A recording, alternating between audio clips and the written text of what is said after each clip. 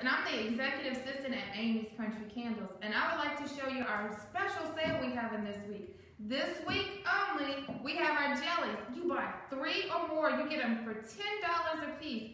That's a savings of $3.99 per jar. That's a great deal.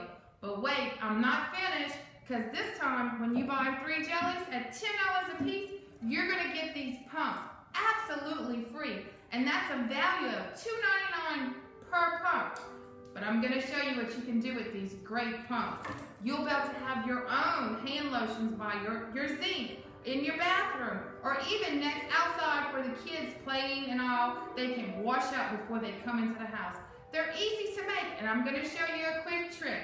So all you need, after you finish burning that wonderful scented candle of ours, you take your jelly, you clean it out. Make sure you clean out everything. Use Dawn dishwashing liquid and a little water. It takes everything out. It's great.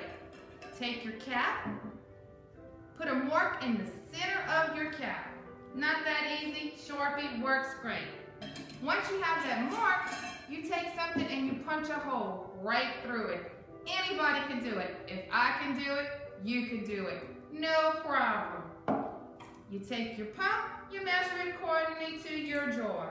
Simple, easy. Make a little mark, cut it with some scissors. Next thing you know, you pop it in the top. There you go. You got a brand new soap dispenser. And you know, this is a special value because you go to the stores, they're like $10 a piece. You made it with yourself, by yourself, and it was absolutely free.